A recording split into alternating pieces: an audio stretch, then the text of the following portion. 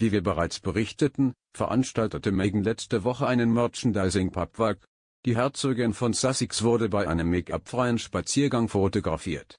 Bemerkenswert ist, dass sie trotz des heißen Wetters in Kalifornien Outfits verschiedener Marken trug.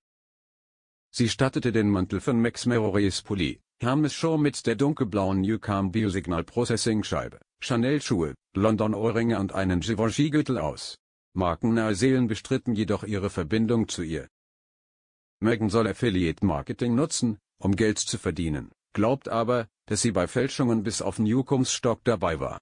Sie hat absichtlich nur einen Ärmel hochgekrempelt, um das Anti-Stress-Pflaster für uns sichtbar zu machen. Sie wurde sichtlich ausgelacht, weil sie versuchte, stillen Luxus zu schaffen, während sie gleichzeitig Dutzende Designermarken trug. Bis auf die weißen Hosen ist sie für Paris im Oktober angezogen, nicht für Montecito im August. Sie macht es nie richtig, sie gerät in Panik. Sie ist seit April bei WME und es wurden keine Deals angekündigt. Sie wurde von einem Deal sehr öffentlich dementiert.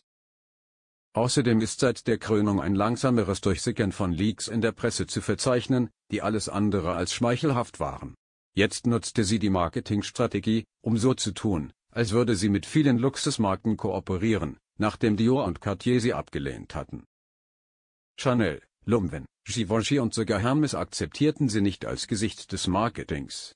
Sie haben ihren Namen im digitalen Marketing auf sozialen Plattformen nie erwähnt. Es sieht schrecklich aus, weil sie diese Kleidung selbst auswählt, weil sie glaubt, dass sie darin schick aussehen wird und es niemanden gibt, der ihr etwas anderes sagen kann. Ihre Umgebung versucht wahrscheinlich nicht einmal, ihre Autorität in Frage zu stellen und ihr zu sagen, dass ein Mantel und ein Schal im August in Südkalifornien eine lächerliche Idee seien. Aber wie viel Geld könnte Megan realistischerweise damit verdienen? Es ist nicht so, dass man sie jeden Tag in Outfits sieht, also dachte sie, eine Marke müsste ihr eine Million Dollar zahlen damit Megan genug Geld einbringt, um bis zum nächsten Pappwalk durchzuhalten. Eine andere Quelle sagte, dass sie entweder fürs Posten bezahlt wird und es peinlich, aber lächerlich ist, wenn wir immer 10% davon bekommt, weil sie es als ihre Agentin arrangiert, oder dass die klassische Mac sich auf eigene Faust an Merch gewandt hat, und WME muss darüber immer wütender werden ihre eigenen Handlungen entwerten ihre Marke weiterhin. Dennoch möchte sie, dass sie Reden und Honorare im Stil von Michelle Obama aushandeln.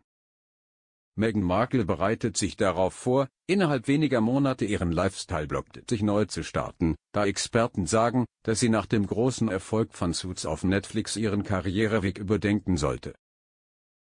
Was ich neu auflegen will, ist schon länger bekannt, inklusive Mode- und Shopping-Tipps sowie Interviews und Beauty-Tipps. Berichten der Daily Mail zufolge wurde dadurch eine Genehmigungsmitteilung für das US-Patent und die US-Marke ausgestellt, die der Website den Weg für eine Rückkehr ebnet. Megan hatte den Blog bereits im November letzten Jahres als Marke angemeldet und muss nun eine Nutzungserklärung vorlegen, um zu beweisen, dass der Blog aktiv ist, um die Marke vollständig registrieren zu können. Megan muss dies innerhalb eines Zeitraums von sechs Monaten tun, der im Oktober abläuft, was bedeutet, dass sie noch einmal damit beginnen muss, sonst riskiert sie, für eine Verlängerung zu zahlen